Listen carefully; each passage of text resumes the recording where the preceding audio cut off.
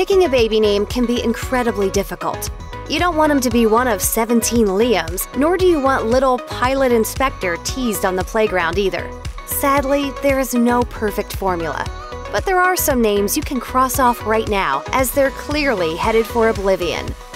Sorry, Grey's Anatomy fans. Despite the show's enduring popularity and the fact that Dr. Grey is still saving lives, we're going to have to call it quits on Meredith. This name has been on the decline for a while. According to baby name website Baby Center, from 2017 to 2018, Meredith slipped down 137 places to rank shockingly low at number 696. This Welsh name might mean great ruler, but Meredith's reign is over, at least for now.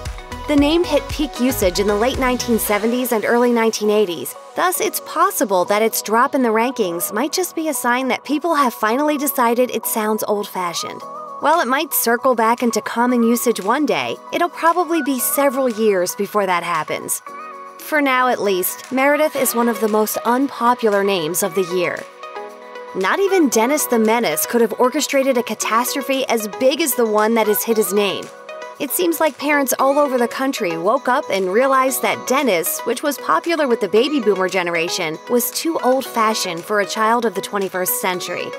From 2008 to 2018, the name dropped over 300 places, now coming in at a lowly 696. Talk about a fall from grace. While it seems like this name was popular just yesterday, some of the most famous people associated with it are actually middle aged. It's hard to believe, but actor Dennis Quaid was born in 1954, and former bad boy NBA star Dennis Rodman, who hasn't been sinking hoops professionally for years, was born in 1961. While it might seem like the film Heathers was released not that long ago, the cult classic actually came out in 1988. By the time any babies born in 2018 are old enough to appreciate the dark humor of that film, they'll think that Heathers sounds like a name for grandmothers. They won't be that far off the mark either.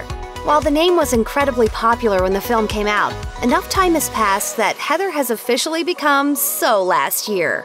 While the name managed to hang onto a slot in the top 1,000 names for baby girls long after its heyday, it has dropped 360 places since 2017, now coming in at number 1,322.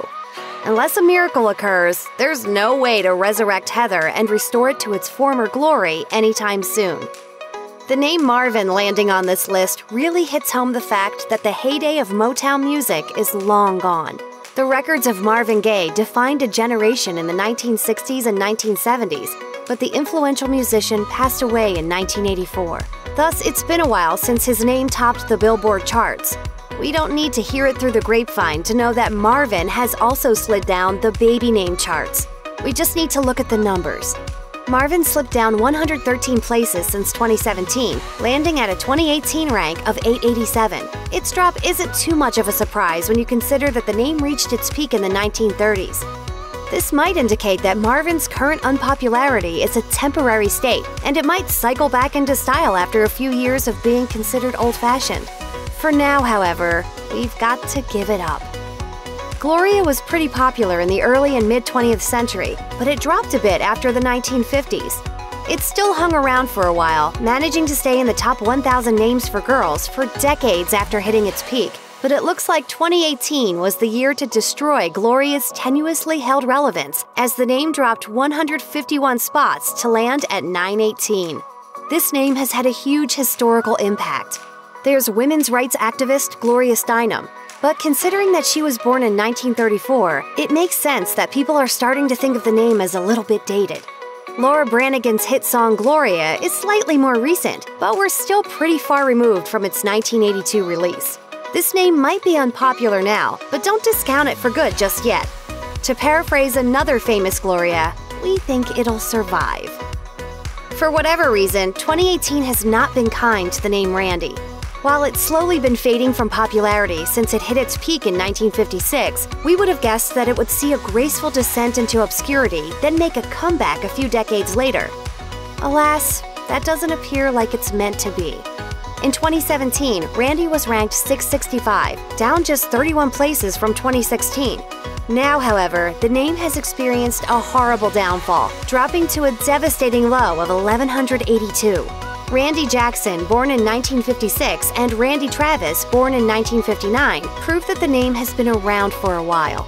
But nowadays, you're unlikely to meet many Randys younger than their 50s or 60s.